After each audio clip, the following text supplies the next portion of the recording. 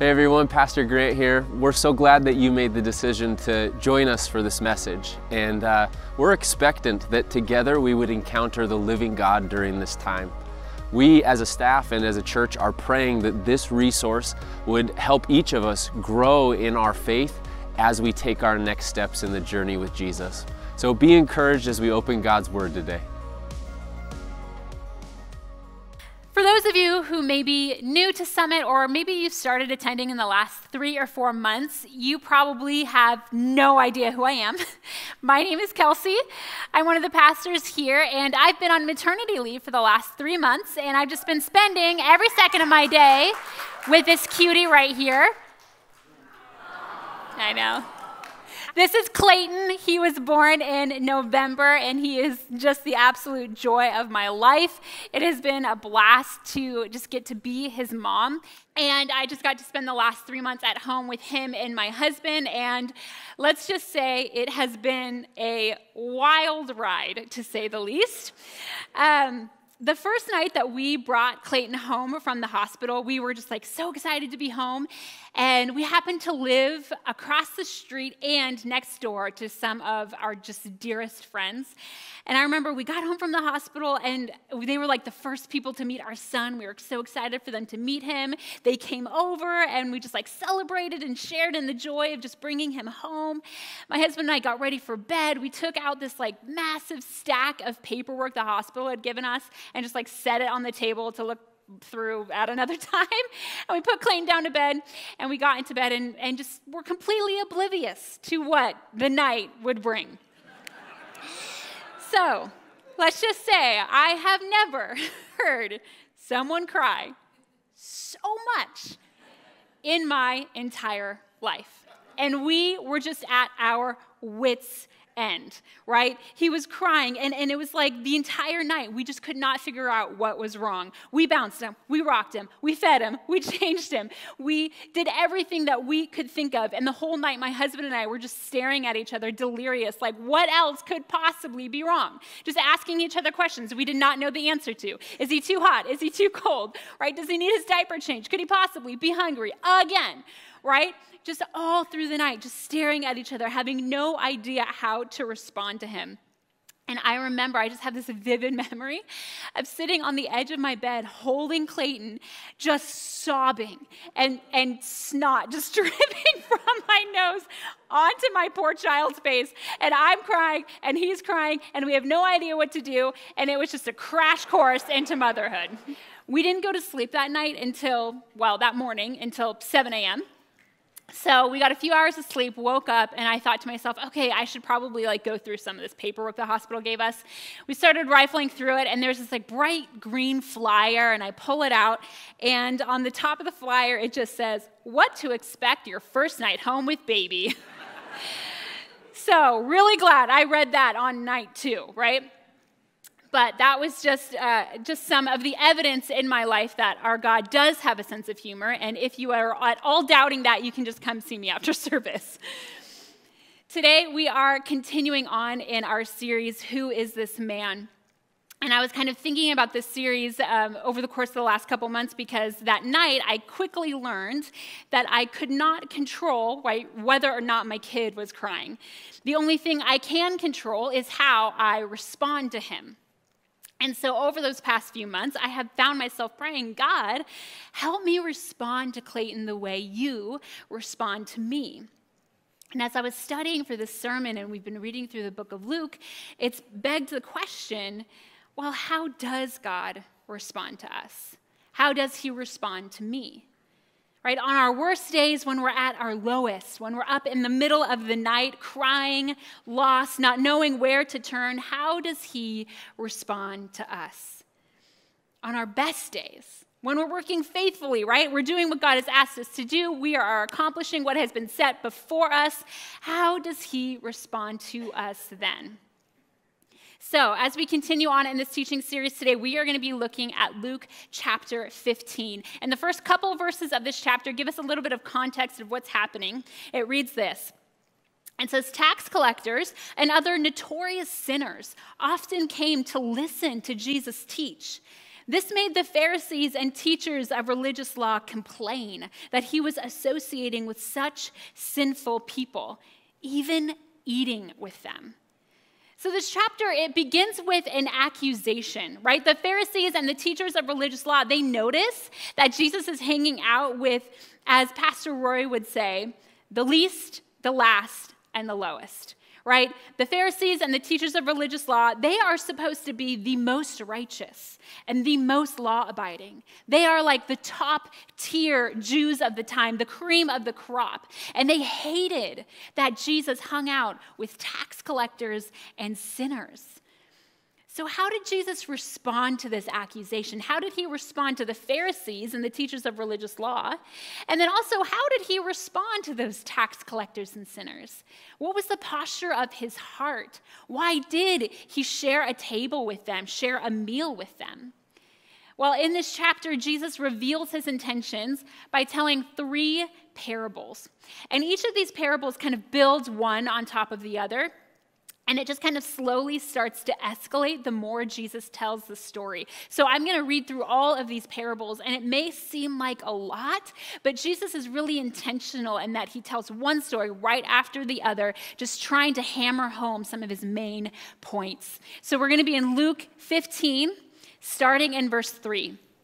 And this is what Jesus tells the Pharisees and the tax collectors while they're complaining about who he's hanging out with. He says this. If a man has a hundred sheep and one of them gets lost, what will he do?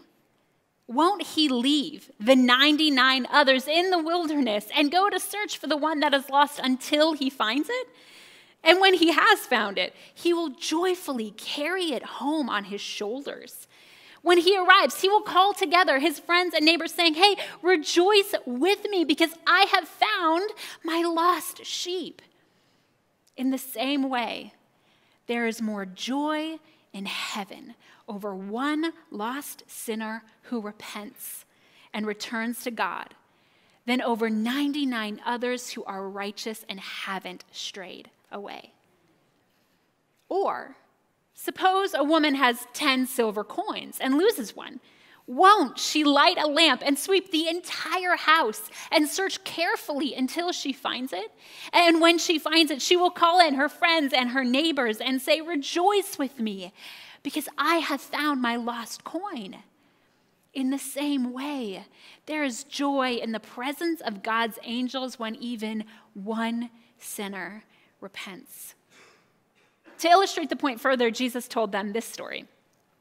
A man had two sons. The younger son told his father, I want my share of your estate now before you die. So his father agreed to divide his wealth between his two sons.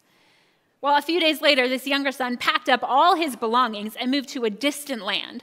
And there he wasted all his money in wild living. About the time his money ran out, a great famine swept over the land and he began to starve.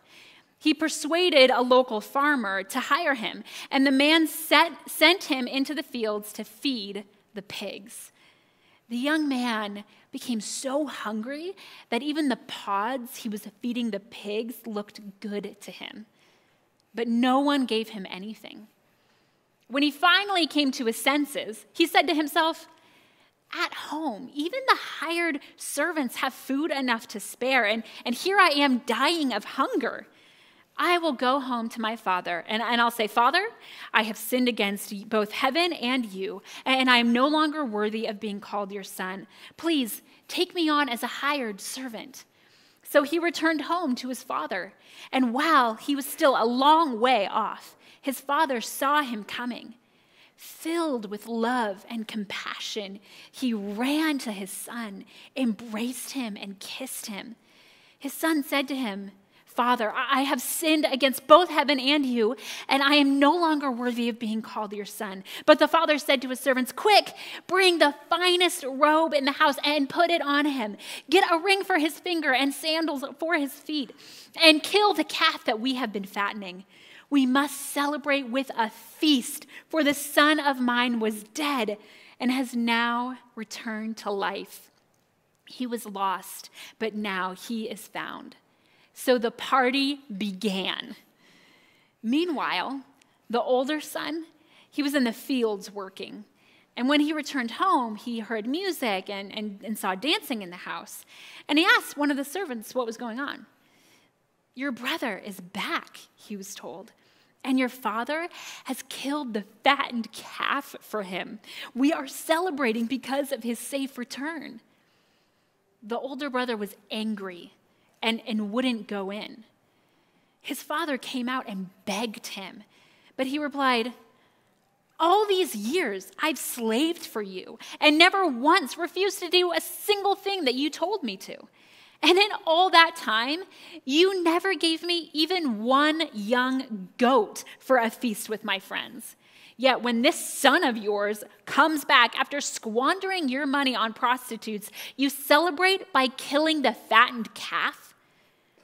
His father said to him, Look, dear son, you have always stayed by me, and everything I have is yours. We had to celebrate this happy day, for your brother was dead and has come back to life. He was lost, but now he is found. By the end of this, I wonder if the Pharisees looked at Jesus and just said, Okay, we get it, all right? You don't have to keep going on and on and on. Jesus, he tells these parables and, and he responds to their accusation with not one, right? Not two, but three of these stories. And they're very repetitive. You probably noticed as we were reading through them something or someone gets lost, right? Something or someone is found, and then everybody rejoices. Like that's the gist of the story. So Jesus told these parables again and again and again because he wanted to make sure that the Pharisees got a very clear picture of what he was saying. He wanted to make sure the Pharisees understood why he was responding to the tax collectors and sinners the way that he was. Right? And so when we look at these parables, there are three ways that we see God responding to us. The first way is that God seeks the lost. God seeks the lost. In the parable of the lost sheep, the shepherd left the 99 to seek out the one sheep who was lost. And in the parable of the lost coin, the woman lit a lamp, swept the house, and searched carefully until she found her coin. In the parable of the lost son, the father, from a long way off, ran to his son, embraced him, and kissed him. Now, I want to draw your attention to something. We cannot lose what does not belong to us. Something our previous pastor, Brad, would say is he would remind us that the gospel does not start in Genesis 3, but it starts in Genesis 1. We were created in the image of God to be in relationship with God in the presence of God. We were meant to live with him in the garden forever, and our sin is what separated us from that. We were not always lost. Once that sheep was in the flock, once that coin was in the widow's hand, once that son was home, we lived in the garden. But sin caused us to separate ourselves from Him. We could no longer be in the holy presence of God as sinful, broken beings. So we left the garden. We left the flock. We left her hand. We left home the lost son, did all he could to satisfy himself away from home. Right? He took everything his father had offered him. He packed up his belongings. He spent all of his money. He moved to a distant land, all in the hopes that distance would offer what home could not. And where did it land him? Right? He was broke and starving. It led him to feeding pigs, which, as a Jew, he was compromising his faith to have that job right? Because pigs were seen as unclean animals. And even the food that he fed to the pigs was appealing to him. He desired it. That's how hungry and how in need he was. The shepherd, he was not satisfied that he still had 99 other sheep. The widow was not satisfied that she still had nine other coins. The father was not satisfied that he still had one son. The shepherd left the widow searched, and the father ran. God seeks the lost. The second way that he responds to us is God invites repentance. To repent means to turn our hearts away from our love of our sin and back toward loving our God. And I love how Jesus, he's not at all subtle when he tells these parables that he is, is asking and inviting repentance. He says it over and over again. In verse 7, in the, after the parable of the lost sheep, he says this In the same way, there is more joy in heaven over one lost sinner who repents and returns to God than over 99 others who are righteous and haven't strayed away. In the parable of the lost coin, in verse 10, he says, In the same way, there is joy in the presence of God's angels when even one sinner repents. And, and I think that we see this too in the parable of the lost son, in the father's posture towards his son right? In verse 18, when the son is kind of reciting to himself what he's going to say, he says, Oh, I will go home to my father and I'll say, Father, I have sinned against both heaven and you, and I am no longer worthy of being called your son. Please take me on as a hired servant. So he returned home to his father, and while he was still a long way off, his father saw him coming, and filled with love and compassion, he ran to his son, embraced him, and kissed him. In this culture, for the younger son to demand his inheritance before his father was gone was extremely offensive. But then to even take that inheritance and leave his father and just blow through everything that he was given, that was a complete rejection of his family. It was dishonoring to his father. The younger brother's actions, it was no small thing. To return to his father's house was a bold move. And he's thinking to himself, you know, maybe, just maybe, his dad will take him back as an employee. Like that is his hope. Not even that he would return to relationship with his father as a son, but maybe he will just hire me as an employee. At least he would get fed and he would have a warm place to sleep. How many of you when you're about to go have like a hard conversation, you recite over and over again in your head what you're going to say? Yeah, okay. Me too. I do this all the time. I'll just go over and over what I'm going to say and how I'm going to say it and kind of just talk to myself. And sometimes I get so lost in my own thoughts and in my own head that I'm not totally sure if I've been talking out loud or not. My, uh, my desk mates could tell me. I imagine that this is kind of what the son was doing on his way home right? He's talking to himself. He has a long trip to go. And he's repeating over and over, okay, this is what I'm going to say to my dad. This is how this conversation is going to go. I'm just going to say, okay, look, dad, I know I've messed up. I know I've dishonored you, but if you'll have me, I'll work. I'll work as a hired hand on your property. I'll do my job well. I'll work as hard as I can, I promise. I can imagine how his stomach must have just turned at his nerves how his palms might have started to sweat at the idea of confronting his father. Like the guilt and shame that might have bubbled up in his chest, knowing that he was wrong and he had to go and confess and repent to his dad. The kind of questions he might have asked himself Will my father take me up on my offer? Will he even want to see me? What if he refuses to talk to me? What if he slams the door in my face? What do I do then? Where do I go? I can only imagine what was going on in his mind on that long journey home. He had a long time to reflect on what he had done. And as he was nearing home, right, as the home that he grew up in, that he was so familiar with, just started kind of appearing in the distance.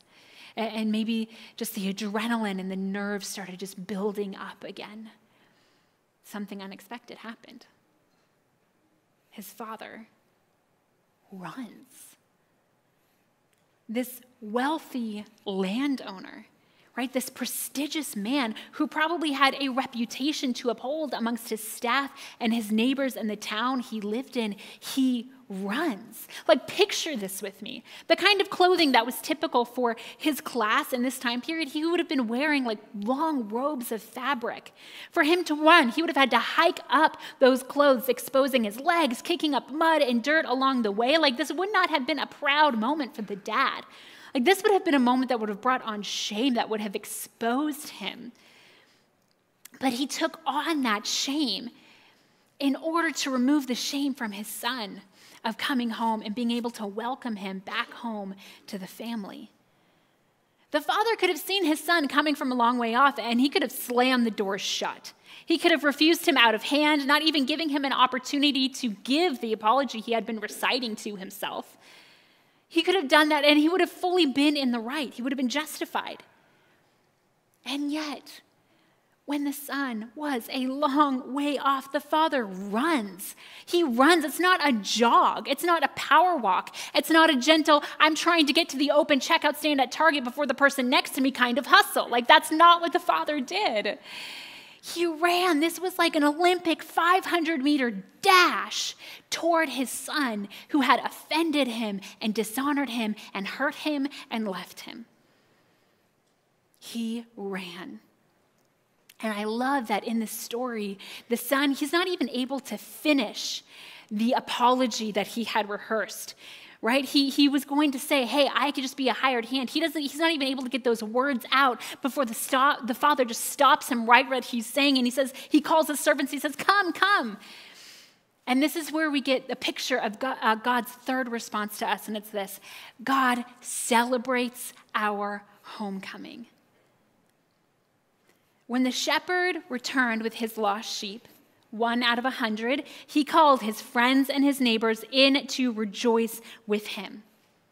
When the widow found her lost coin, which was one tenth of her life's savings, she called in her friends and neighbors to rejoice with her. And when the father's son returned home, one son of only two, he called all of his servants to celebrate that his son, who was once lost, was back home.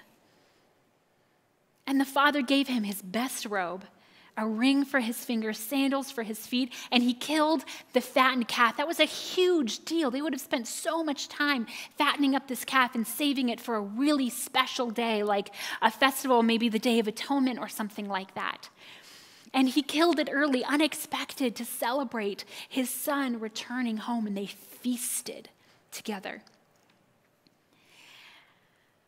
As I mentioned earlier, uh, my husband and I just have this really unique privilege of living across the street and next door to just some of our dearest people. And these are the kind of friends who have become a family to us. And we have gotten to live life together. And the Lord has just blessed us so much with their friendship. And I feel like I've gotten just like the smallest taste of what it must have been like for the early church to live in that Christian community. And so when we came home from the hospital and we brought Clayton home, we couldn't wait to celebrate with these friends. Like we got home from the hospital and within 20 minutes, our friends were over and we were celebrating with them and talking and laughing and telling stories and just rejoicing that this son that we had all prayed for together was finally home. And I want you to pay just particular attention to how God celebrates our homecoming. God does not celebrate our homecoming in isolation, He celebrates it in community. Right? In the parable of the lost sheep, Jesus describes joy in heaven over the repentant sinner. In the parable of the lost coin, he describes joy in the presence of God's angels over the repentant sinner. And in the parable of the lost son, he invites his whole household to celebrate his son's homecoming. It is with heavenly celebration at the forefront of our minds that Jesus then presents an opportunity to the Pharisees and the teachers of religious law that he's telling these stories to. Right? He presents an opportunity for them to respond to the repentant sinner with joy rather than bitterness. Right? The opportunity is seen really, really clearly in the older brother. Jesus extends the invitation to the Pharisees, and by extension, he's extending that invitation to us. I want to end our time together by asking you a question. Now that we know how God responds to us, how do you respond to God? Like, truthfully, how do you respond to God? Maybe you relate most to the youngest son, right? You have taken what you have been given and you have spent it all. You have distanced yourself from God. You have done everything in your power to find fulfillment and satisfaction away from home. But at the end of the day, you've struck out. The love that you've been chasing elsewhere has come up empty. The identity that you've sought from others has proved wanting, and the hope that you have put, in man has been dashed. Maybe you've considered coming home. You even showed up here today. But you're afraid of how your Heavenly Father will respond to you, how He will receive you. I mean, after all, everything that you've done, that's no small thing.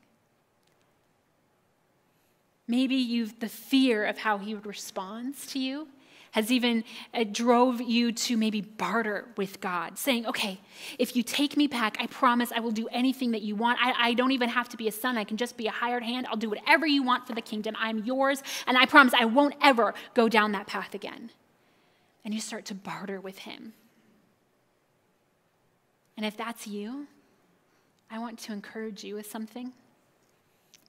In this parable, the father gave all he had to his two sons.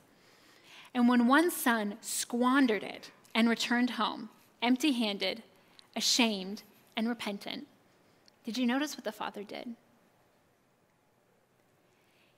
He gave him more.